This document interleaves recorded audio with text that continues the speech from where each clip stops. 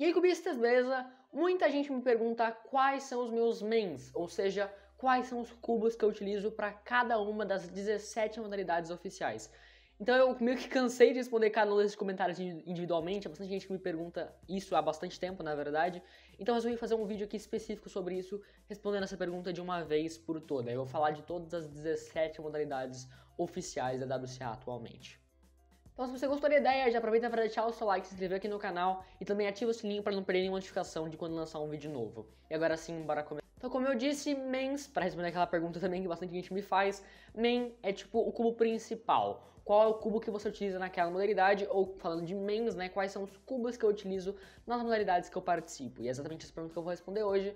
E já vamos começar aqui sem mais enrolação primeira delas é o 2x2. Eu acredito que todas elas, você ir na playlist de unboxings aqui do canal, você vai encontrar um vídeo sobre cada uma e talvez até alguns tenha review sobre o cubo, então dá uma procurada aí que, que tenho certeza que você vai encontrar sobre cada um, cada cubo aqui que eu tô falando mais especificamente, né? Então, para 2x2, eu utilizo o Supernova Valk 2M, para quem não sabe, Supernova é uma linha de setup que esse Speed Shop tem, então eu utilizo o Supernova Valk 2M e eu troquei manualmente as molas dele pelas molas do IJ MGC. Não me pergunte por quê, mas eu acho que fica um pouco mais legal, ele fica um pouco mais rápido, parece, então eu acabei trocando isso manualmente. Para 3x3, de vez em quando eu pego um que eu tô um pouco mais afim de treinar e acabo mudando meu main de uma hora para outra, mas se alguém me perguntar nesse momento, eu estou usando o GTS 3 magnético. É um cubo que me acompanha aí há pelo menos dois anos. Já bati vários recordes com ele, tanto brasileiro. Acho que eu tive um recorde brasileiro com ele, inclusive. E ganhei o campeonato sul-americano com esse cubo. Então, esse cubo me acompanha bastante tempo e de vez em quando eu volto a usar ele porque eu gosto bastante mesmo desse cubo. Para 4x4 eu utilizo o Aosu WRM ou Aosu WRM, como você preferir chamar. Ele é um cubo menor, ele tem 58 ou 59 milímetros, se eu não me engano. E ele fica menor mesmo, as mãos não são muito grandes, então ao cabo que eu prefiro ele por causa disso. E o giro dele também é muito bom, então isso compensa, além do fato de ser pequeno, o giro é muito bom, então eu gosto bastante desse cubo. E eu tô com ele faz mais ou menos uns seis meses, já bati vários recordes com esse cubo, não brasileiros, mas recordes pessoais eu falo, então eu gosto bastante dele mesmo. Para 5x5 eu vou ter que dar esse título pro Valk 5M, esse cubo é sensacional, eu gosto muito dele, ele tem um controle muito bom e não é muito lento, né, eu lubrifiquei ele com H5, então o cubo fica bem rapidão mesmo, gosto bastante desse cubo e me acompanha há um certo tempo aí. E bati vários recordes com ele também, acho que basicamente todos os meus recordes atuais de 5x5 são com esse cubo. E, bom, não tenho que falar, eu acho que é o melhor 5x5 do mercado até agora. Para 6x6, eu utilizo o YJ MGC 6x6 magnético também. Esse cubo é muito bom, ele parece bastante com o Ausch GTS-M, só que se fosse um cubo bom, porque o Austin é muito bom, mas esse aqui pega essa parte rápida que tava faltando no 6x6 e consegue colocar tudo isso nesse cubo sem ficar tão incontrolável e dando tantos pops. Então eu gosto bastante desse cubo ele realmente me surpreendeu desde fora da caixa. Ele vem bem solto, então tive que apertar bastante, mas é um cubo excelente. Eu tô com ele aí faz quase um pouco menos de um ano, eu acho. É um ótimo cubo. Um cubo excelente mesmo. Infelizmente, por causa da pandemia, eu não tive a oportunidade de participar de campeonato com ele ainda, mas certeza que quando os campeonatos voltarem eu voltar a participar, eu vou bater vários recordes com esse cubo. Para 7x7, eu utilizo o Rei 7 magnético. É um cubo um pouco antigo, mas eu ainda gosto bastante dele, ele é um cubo bem rápido. O motivo de eu não ter trocado por Spark, que o pessoal fala que o Spark é um pouco mais lento, então eu realmente acho que o Reis é um pouco melhor pra mim. Tem o Game 17 também, mas eu ainda não testei ele, então não posso afirmar, mas esse é o cubo que eu tenho e que eu uso e gosto bastante dele. Todos os meus recordes pessoais aqui em casa, em campeonatos também, são com esse cubo e ele é simplesmente incrível também. Passando agora dos N por N, vamos também para os outros eventos de 3x3. Então, para 3x3 com uma das mãos, na verdade, para 3x3 com uma das mãos eu estou um pouco em dúvida entre o GTS 2M e o RS 3M normal, não 2020, o normal mesmo. Eu gosto bastante desses dois cubos, esse aqui é um pouco mais rápido, esse aqui é um pouquinho mais controlável, então não sei qual que eu utilizo, mas eu acho que eu estou um pouco mais próximo de usar esse do que esse daqui. Mas os dois cubos são muito bons, então talvez se eu tivesse aqui pro campeonato hoje eu só pegaria um deles aleatório e, e veria como que isso iria ir, né? Eu realmente não sei qual é meu main. Os dois são muito bons e gosto bastante dos dois. Para 3x3 com os olhos vendados, eu utilizo também o GTS 3 magnético. Eu gosto bastante desse cubo para blind, eu acho ele bem controlável e tem um pouco de velocidade dele também, então acaba que me satisfaz na hora do blind. É, é, o cubo que eu preciso. Eu acho que essa é uma modalidade que eu nunca vou trocar de main, porque é simplesmente incrível e, e eu me adaptei muito bem com esse cubo para Dead Place com os olhos vendados, que eu não me vejo trocando dele agora. Para Dead Place com menos movimentos, eu simplesmente pego três cubos aleatórios na hora e vou, porque você tem uma hora, então o tipo do cubo não vai influenciar basicamente nada, até porque eficiência não tem nada a ver com velocidade, especialmente nessa modalidade, então eu só pego três cubos aleatórios, então só, só isso mesmo. Não tem como ter um main para FM, porque eu uso três cubos aleatórios. Começando agora com o Side Events, pro Skillby eu utilizo o X-Men Wing ainda. Eu sei que tem o Ao Yan, já testei ele, eu gosto bastante também, mas eu não tenho um meu, então eu acabo utilizando o Wing, eu gosto bastante dele, esse fato dele ser côncavo, o imã dele pra mim é muito bom, então eu não vejo por que trocar. Acho que meus recordes todos são com ele, já bati alguns recordes nacionais com esse cubo, inclusive, então eu gosto bastante dele e não me vejo trocando. Então, é um dos meus mais antigos esse aqui, se eu não me engano é o meu segundo cubo que eu utilizo hoje em dia que eu tenho há mais tempo, então é meu segundo main mais antigo, digamos assim.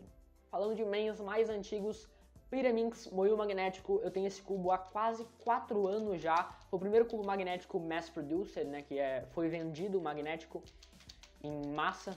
E eu gosto muito desse cubo, eu gosto muito do estilo dele, então eu sei que tem alguns cubos novos hoje, tem o Dagan, tem o Bell V2, mas eu não me vejo trocando esse cubo, pelo menos por enquanto, eu gosto bastante dele realmente.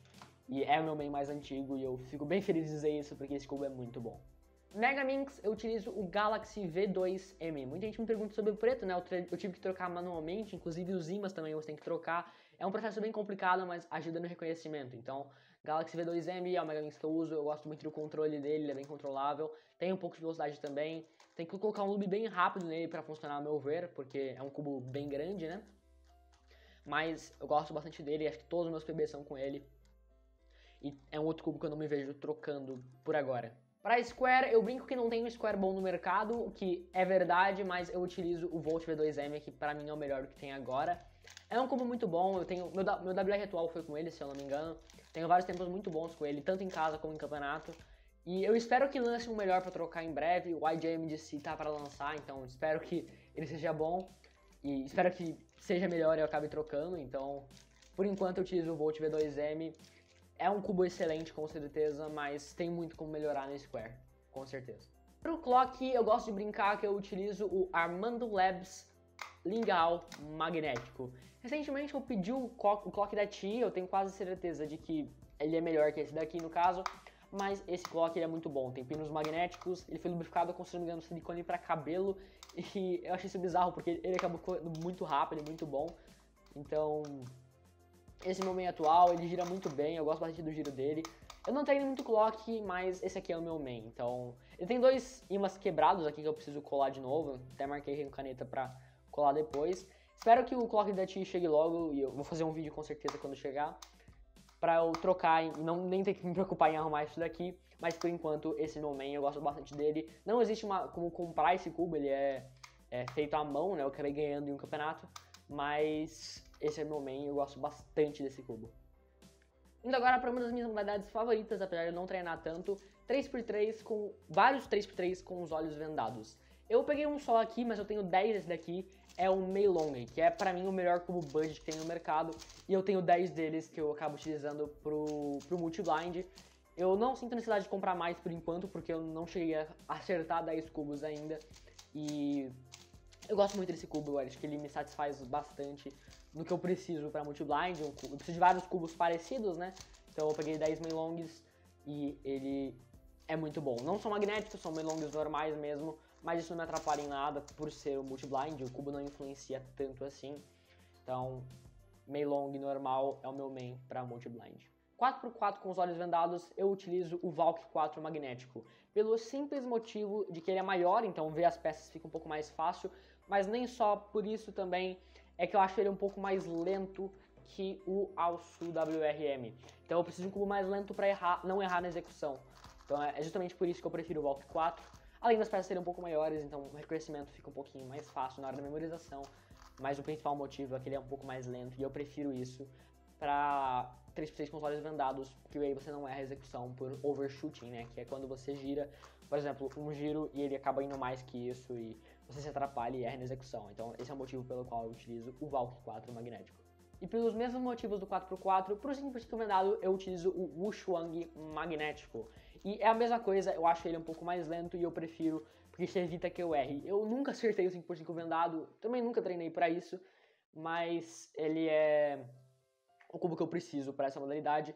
Por ser um cubo bem mais lento e mais controlável, a chance de eu errar por fazer, tentar fazer algo rápido e acabar me perdendo é menor. Então esse é o motivo pelo qual eu utilizo o Wushuang magnético. Essas foram as 17 modalidades oficiais e os cubos que eu utilizo em cada uma delas, mas o vídeo não acabou ainda, tem mais algumas coisas para falar que eu uso para mexer nos meus cubos, que de alguma forma estão relacionadas com os cubos. E já que a gente estava falando de blind, muita gente me pergunta que às vezes no vendado, ou até um pouco antigamente, eu utilizava fones de ouvido durante as solves. Isso não é verdade, fones de ouvido são proibidos hoje em dia. Durante as resoluções você não pode utilizar, mesmo que desconectado, antigamente você não podia ouvir música, ah, mas podia usar o fone para abafar o ruído mas hoje em dia nem o fone você pode. O que você pode é utilizar um abafador, tapa-ruído, como você preferir chamar, e é exatamente o que eu utilizo hoje em dia para as modalidades com os olhos vendados. Eu utilizo esse aqui, que é um da Camper, eu acho que esse é o nome, C200 Comfort. É um simples que você compra naquelas papelarias ou lojas de material de construção. Ele é muito bom, ele abafa bem melhor do que aquele meu preto que eu tinha antigamente. Tem até um, ele é um pouco mais confortável, né, por causa desse acolchoado aqui, não sei se essa é a palavra. Tem uma esponja lá dentro, fica um pouco difícil de ver na câmera, mas ele é bem espumado lá dentro, que é bem legal. E no vendado ainda, além disso daqui, eu utilizo também um protetor uh, ouvicular, não sei se é essa palavra, protetor de ouvido também. Eu coloco junto com o fone para me ajudar ainda mais na concentração. Você pode achar que é frescura, mas campeonatos barulhentos fazer blind é um pesadelo, então eu utilizo isso daqui junto com o protetor de ouvido abafador aqui, né? Eu utilizo abafador junto com o protetor para me concentrar mais ainda nas horas das solves de 3x3, 4x4, 5x5 e multivendado. E confia em mim, isso ajuda bastante. Outra coisa que muita gente me pergunta são sobre os lubrificantes. Eu vou falar de cada um deles aqui, dos que eu uso atualmente. Eu tenho 12 tipos diferentes e cada um para uma função. Começando com os lubrificantes de core, né? Eu tenho o BioCube Core, que é, eu acho que é o lubrificante que eu mais utilizo na hora de lubrificar o core por ser um lubrificante focado nisso. Então o BioCube Core seria o primeiro deles, eu utilizo especialmente para o core. Agora um pouco mais à frente, o que eu uso bastante para o core também é o Weight 5, é o lubrificante mais viscoso que eu conheço, tem também o Weight 8 e o Weight 6 desse Bishop, mas eu tenho o Weight 5 aqui comigo e eu utilizo bastante para o core também, junto com o BioCube Core. Mas esse daqui também eu utilizo um pouco nas peças e no tracks dos cubos também, para ajudar a princípio ele fica um pouco game, mas ele fica bem rápido no longo prazo, então eu utilizo bastante esse lube aqui também. E gosto bastante dele, é um dos meus lubes favoritos. Se eu puder recomendar um lube e você entende de lube, eu diria que o Weight 5 é o melhor deles, porque o efeito do cubo é muito interessante. Começando agora com os lubes de garrafinhas, né, de bottles, como chamam. Eu tenho um lube que está quase acabando, que é o DNM37, durou por muito tempo, é um lube da The Cubicle. E tá quase acabando, eu quase não uso mais, apenas em algumas situações bem específicas. Outro que eu tenho da Liquid que também tá bem perto do fim é o Lubical Silk, que eu também utilizo bem pouco ultimamente, pela quantidade de lubes que eu tenho de outras lojas. Então, ele é, é um lube excelente também, eu utilizo bastante nesse cubo aqui. Então, acho que é a principal função dele para mim hoje em dia, mas me serviu por bastante tempo também. Começando agora com os lubes da BioCube, eu tenho dois. O primeiro deles é o DNA, que eu utilizo em bastante combinação de lubrificante. Eu gosto bastante desse lube aqui também. Ele é bem versátil, dá pra usar em várias coisas.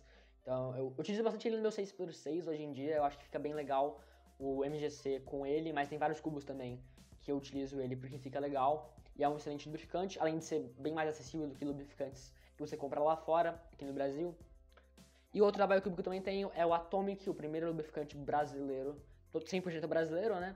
Eu utilizo não tanto esse lubrificante hoje em dia, acho que a, a, o cubo que eu mais utilizo ele seria o RS3M 2020, mas ele fica muito bom em várias combinações, também recomendo bastante esse lube. Eu só não utilizo mais ele porque eu tenho outras combinações que funcionam melhor para mim, mas é um lubrificante excelente também, junto com o DNA. Os dois juntos ficou bem legal, inclusive.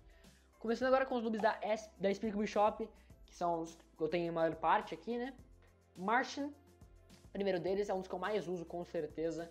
Ele deixa o cubo bem controlável, não tanto controlável, um pouco mais para rápido, mas não é, deixa o cubo tão rápido quanto um DNM ou um lunar da vida. Então eu gosto bastante desse lube aqui, eu utilizo para várias coisas. Lunar, lubrificante da Speed Cube Shop para agregar velocidade ao cubo. Eu gosto bastante dele, utilizo em vários cubos quando eu sinto que a velocidade está um pouco baixa. Galaxy, um dos meus lubes favoritos também. Eles dizem que é. Não sei se dá pra ler aqui também o plastiquinho, mas enfim. Dizem que é o perfeito balanço entre controle e velocidade, e eu concordo. Eu gosto bastante desse lube aqui. Me serviu bastante também. Ainda serve, na verdade. Candy Cane, um dos meus lubes favoritos. Ele, além de ter o cheiro né, do Peppermint, do Peppermint Scented, ele é um lubrificante excelente para agregar velocidade e dar aquele feelingzinho um pouco gummy. Então eu gosto bastante dele e utilizo em vários cubos hoje em dia também, inclusive no meu Square, se eu não me engano. Solar, lubrificante para agregar controle e deixar um pouco mais controlável. Seria o meio termo ali também, um pouco mais lento que o Galaxy, mas também para balancear controle e velocidade. Gosto bastante dele também, apesar de não ter usado tanto até agora. Nebula, um dos meus lubes que eu tenho mais interesse por ele pela diferença que ele faz na hora das solves, não das solves, mas na hora de lubrificar, o efeito que ele tem, ele serve para deixar o seu cubo mais lento e fica muito legal o efeito dele. se você quiser um lubrificante para agregar controle ao seu é, cubo instantaneamente, eu diria que o Nebula é bem legal. Você pode ver até que a bolinha dele aqui se move bem lentamente em comparação com o Lunar, por exemplo. Esse aqui vai bem mais lento. Então, esses aqui são todos os meus lubes, vou colocar eles todos na tela aqui. Cada um tem uma função, eu gosto bastante de todos e já usei todos em algum momento. Eu acho que ter uma grande variedade de lubes não é necessário, mas é legal para você mexer com todos e ver o efeito em cada um dos cubos. E a última coisa que eu senti que eu precisava mostrar é minha caixinha de guarda meus acessórios. Então aqui é uma caixinha do MF3 RS3M, eu acho. E tem várias coisas aqui, tem mola, tem arruela, tem é, chave de fenda, chave de mola, tem um monte de coisa aqui que eu utilizo mesmo quando eu preciso setar algum cubo do zero. Então aqui tem imã também, tem até uma outra, um outro potinho onde eu guardo alguns imãs um pouco mais fortes também, mas ela não tá aqui. Então essa aqui é meu, meu kit de acessórios que eu utilizo bem de vez em quando, mas é bem útil também.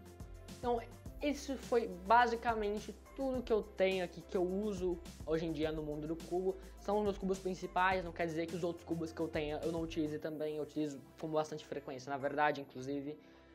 Então, esses são os meus mains, como eu disse, tem mais coisa vindo, sempre que lançar uh, um, um, vídeo de unboxing aqui no canal, eu vou avisando conforme o tempo se eu vou mudando de mains. E eu acho que seria uma coisa legal também fazer um vídeo desse aqui por ano, mostrando como que os cubos mudaram, se é que eles vão mudar ao longo do tempo, vai ficar muito mais diferente disso, eu não sei quanto mais os cubos têm para melhorar hoje em dia, quantos mais cubos eu ainda vou ter, mas eu acho que é uma ideia legal de fazer esse vídeo uma vez por ano. Então, esses foram os meus mains, espero que tenham gostado, se gostaram, deixa o like, se inscreva no canal, o vídeo fica por aqui e até a próxima. Tchau, tchau.